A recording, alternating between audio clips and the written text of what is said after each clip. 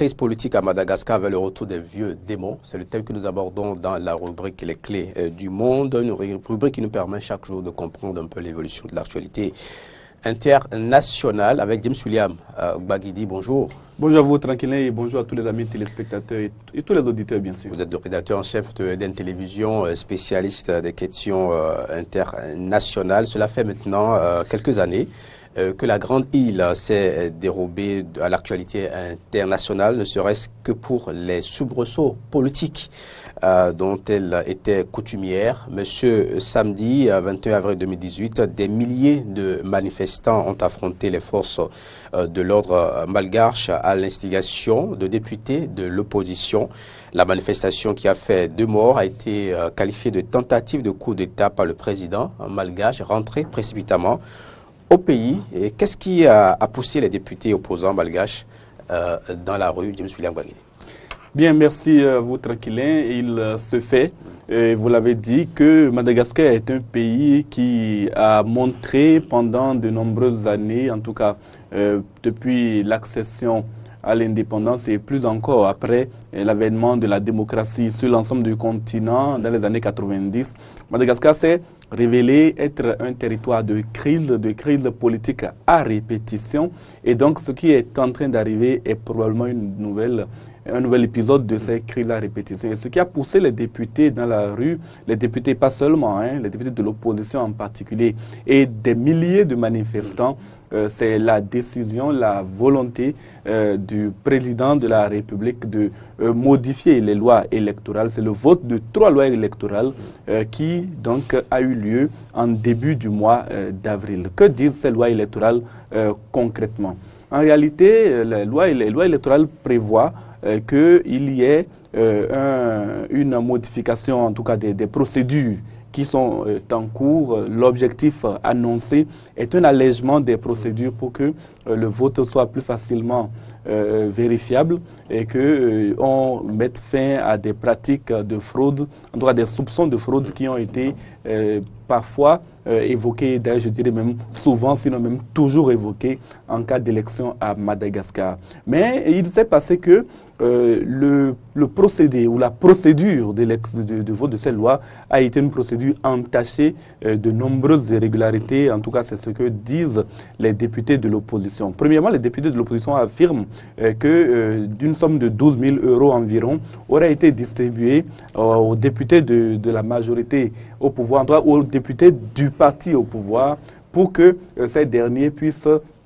euh, voter la loi, euh, les lois électorales en question euh, sans broncher. Et de fait, lors du vote, il y a eu de la part des députés de l'opposition une contestation à l'intérieur de l'hémicycle, une contestation qui était telle que à un moment donné, ils ont fini par quitter le, Parlement et laisser les députés de la mouvance présidentielle seuls euh, rester euh, sur place. Le vote a donc été acquis mm. après leur sortie. Je pense que s'ils étaient restés, ils auraient euh, quand même pu avoir la majorité pour empêcher ce vote-là. Mais ils sont sortis de la salle, de l'hémicycle et le vote s'est achevé par une par 79 voix pour et 150, sur les 151 députés. À partir de ce moment-là, les députés de l'opposition de ont contesté la régularité du vote. le décompte est fait par euh, main levée. On a même eu l'impression euh, que le chiffre de 79 a été balancé un peu euh, comme ça pour donner la majorité aux, voix qui étaient en faveur du, vote. Le ministre, de, Premier ministre était présent, il a parlé d'une victoire de la démocratie et cela a fortement déplu aux députés de l'opposition. Ils ont par ailleurs saisi euh, la Cour constitutionnelle, la haute Cour constitutionnelle dans le pays, c'est comme ça on l'appelle là-bas. Euh, la haute Cour constitutionnelle n'a pas encore donné euh, son aval définitif, mais déjà, le Sénat, à son tour, a reçu le projet de, les, trois projets de, de loi et le Sénat a voté presque quasiment à l'unanimité les, fameux projets de loi. Mais un élément important dans ces euh, projets, l'un de ces projets prévoit un critère d'inéligibilité euh, pour, pour toute personne qui aurait été condamnées par le passé. Et parmi ces personnes condamnées par le passé, il y a l'ancien président Marc Ravalomanan. On a vu une image de lui passer à, la télé il y a un instant. Marc Ravalomanan est, donc serait donc frappé par ce critère d'inéligibilité, ce critère qui déjà a, fait, a poussé à son retrait de, la, de, au retrait de sa candidature en 2013, lui et l'autre ancien euh, président, lui aussi, Angela Joël, qui ont donc été empêchés de se présenter. Euh, donc voici Angela Joël, Marc Ravolmanan, lui on l'a vu un peu plus tôt tout à l'heure. Mais euh, cette fois-ci, les deux candidats qui s'étaient affrontés par le passé n'entendent surtout pas n'entendent surtout pas laisser le président euh, R. Razoumanamampian, que nous avons abondamment vu aussi, n'entendent pas laisser Razoumanamampian seul face à, à d'autres candidats qui seraient devenus euh, à leurs yeux. C'est pour cette raison qu'ils ont appelé leurs leur, euh, partisans à manifester et euh, les rues, notamment la place du 13 mai, une place emblématique où se sont déjà déroulées des manifestations extrêmement euh, importantes et dangereuses pour la stabilité de l'État, cette manifestation a eu lieu à la place du 13 mai. Et ce qu'on a pu remarquer, c'est que les forces de l'ordre ont fini par s'enfuir devant les manifestants et abandonner même parfois leur euh, bouclier et, leur, matériel. On voit ici des manifestants brandir le bouclier d'un gendarme qui a été euh, fracassé même. Euh, donc, à, partir d'un certain moment, les l'ordre sont retirées, mais avant cela, elles avaient déjà provoqué la mort de, deux personnes. Alors, pourquoi le, président malgache parle-t-il de, de coup d'État? Alors, euh, ce qui se passe, c'est que Madagascar a déjà connu un épisode similaire. C'était en 2009. À l'époque, c'était Mac Ravalomanan était au pouvoir. Il euh, était accusé de corruption. En ce moment-là, Ange Rajouel était maire de Tana. Et donc, Ange Rajouel poussait les manifestants euh, dans la rue contre Mac Ravalomanan. À l'occasion de la répression d'une de ces manifestations en 2009, on a enregistré 14 morts, c'est 14 morts de trop parce que le pouvoir était accusé déjà de corruption dans une crise politique et une crise sociale généralisée. L'armée va se mutiner contre le président euh, Marc Ravalomanan et le pousser au départ. Ce qui s'est passé, donc, c'est on a accusé hein, à un moment donné les, détracteurs d'Ange Rajouel, euh, qui a pris le pouvoir après le coup d'État pardon, des militaires, euh, a, a, été accusé d'avoir poussé les gens à se livrer à la mort, parce que quand il y a mort d'hommes, les militaires généralement à Madagascar prennent leurs responsabilités entre guillemets. C'est déjà arrivé avec Didier Rassirac euh, à la fin des années 80 euh, et donc du moins au début des années 90. Même chose c'était en 2009. Et donc quand on a assisté à ces nouvelles manifestations d'une telle ampleur et que cela a provoqué la mort de deux personnes, euh, il n'en fallait pas plus pour que Mampian voit venir le, risque d'une destitution par l'armée et donc euh, il crie déjà à la tentative de coup d'État. Et, dans ces, euh, de, de, violence politique, quel rôle jouent les, anciens présidents comme Ange Rajouel et, Marc Ravalomanan Bien, ces deux personnalités, comme je l'ai dit, ont euh, déjà déclaré leur candidature pour la prochaine élection. Euh, souvenons-nous, donc il y a euh, environ cinq ans, ils avaient été empêchés de se présenter pour une question de consensus national. Angela Joël que nous voyons euh, ici, il avait été empêché de se présenter.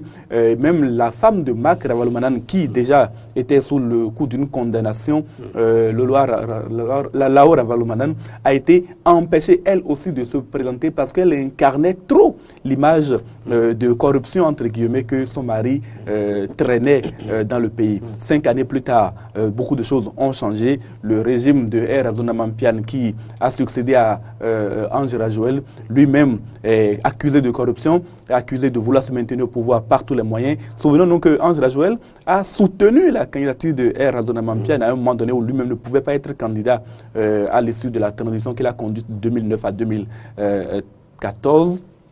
Et donc, à partir euh, de ce moment-là, il fallait vraiment trouver euh, des candidats consensuels. C'est toi, lui qui avait fini par être élu. Aujourd'hui, il euh, est au pouvoir et il commence à vouloir verrouiller le système pour, que, pour avoir la possibilité de succéder à lui-même. D'ailleurs, il a lancé il y a quelques mois maintenant un plan émergence on l'a appelé un plan d'investissement massif à travers le pays. À un an de la présidentielle, cela est apparu et, évidemment aux yeux de toute l'opposition comme étant une action marketing, de marketing politique qui devrait lui permettre de se faire réélire. Et comme il ne serait pas, et là encore c'est l'opposition qui le dit, sûr de sa popularité, il veut, voudrait écarter de cette élection ceux qui ont le poids euh, ceux qui ont la popularité démontrée, mm. comment dire Joël, qui est extrêmement populaire à, à, Antananarivo, et euh, Marc Ravalomanan, ancien président de la République, qui a quand même fait ses preuves à la tête de l'État, même si on l'a accusé de, de, corruption vers la fin de son mandat. Donc ces deux personnalités cristallisent aujourd'hui les tensions et appellent les populations à maintenir une forte pression pour que les lois électorales qui viennent d'être votées euh, ne puissent pas être mises en application, parce que si elles sont mises en application, il y a peu de chances que l'un d'eux puisse battre un raisonnement au cours du prochain scrutin. James Souliab Baguidi, euh, faut-il craindre que cette nouvelle crise politique euh, ne dégénère oui, il faut craindre que cette nouvelle crise politique ne dégénère parce qu'on a déjà entendu un groupe d'anciens généraux euh, de l'armée venir faire une déclaration il y a quelques jours seulement. Ils appellent leurs cadets, c'est eux-mêmes qui le disent, leurs cadets de l'armée nationale, à ne pas laisser pourrir une situation dans laquelle un pouvoir serait en train euh, de vouloir s'accaparer euh, de, de, de, de l'État en, général. Et donc, c'est un appel carrément au coup d'État hein, de la part euh, de ces anciens généraux de l'armée. Et cela peut, comme on l'a déjà vu à Madagascar, cela peut aboutir à une nouvelle crise. Les militaires, ils ont déjà pris le pouvoir à plusieurs reprises. C'est vrai que rapidement, ils le restituent aux civils, mais ils ont pris l'habitude, on l'a vu, de mettre fin à des régimes politiques. Et c'est cela le risque à Madagascar aujourd'hui si la crise euh, ne connaît pas une décrispation rapide. Merci à vous, William Baguidi. Euh, crise politique à Madagascar vers le retour des vieux démons, c'était donc la thématique de la rubrique Les clés euh, du monde.